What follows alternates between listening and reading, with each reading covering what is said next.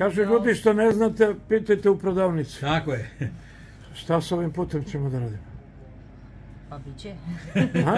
bit će. Biće. Bit Ja će. sam to rekao. Biće nekada sad. Jesu ga odužili malo? Jesu. Jesu. Jesu. Jesu. Jesu. Jesu.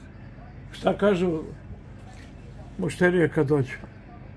Pa Pa svako se žali, svi se žale.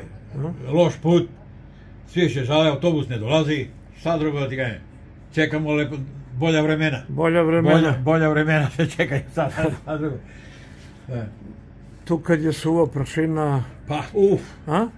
Može da se vidi. Kažite nešto što ne smete. Pa jeste, pršina je. Ljudi Prašina kad- je. Hm? Pa prašina je, sad blato.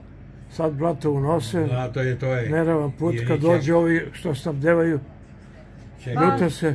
čekaju, Ljute se, čekaju. Šta se radi, čekaju bolja vremena da bi počeli da, da krenu sa srat. Ali čekaj. Biće valjda. A? Pa Jednoga dana, valjda. jednoga dana. Jednog lepog dana. E, to, Rekli su to. prvi maj, ali Tako ne je, verujem, jednoga lepog dana biće. Jednog lepog dana, možda i kasnije. Tako je, tako je. Tako je. Živjeli? Tako je, Hvala, bravo. ti.